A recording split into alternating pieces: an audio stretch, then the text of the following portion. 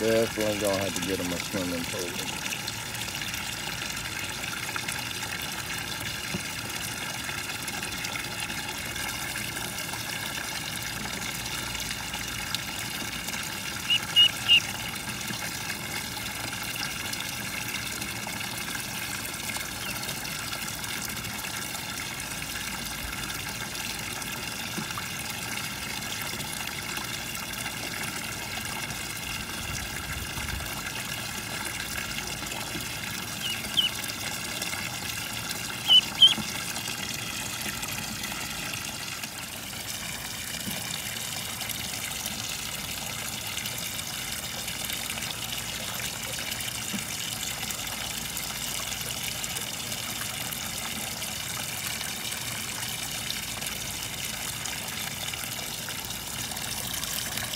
Attacking the bubbles, attacking the water.